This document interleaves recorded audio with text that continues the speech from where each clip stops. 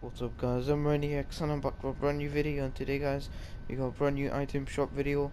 Make sure to drop a like before you watch this item shop and subscribe if you're new to and let's begin.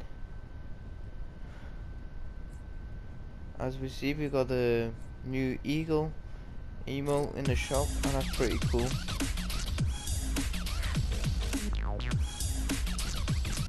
OMG that's flipping ugly. no, I mean it's pretty cool, but it's worth 500. It's pretty cool. It matches the eagle theme for the 4th of July. And yeah, we got still the same featured items. We got the fresh, updated. We got the Empire Arcs. We got the Tactics Officer, Snow Squall, the Arctic Assassin, and yeah. This this is a weird emote.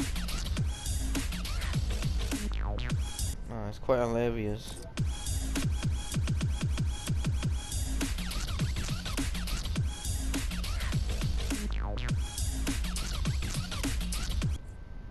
The guy is trying to fly but it doesn't work. Stays on the ground. So yeah, I hope you enjoyed this video. Make sure to drop a like, subscribe and I'll see you guys later with a new video. Adiós, todos.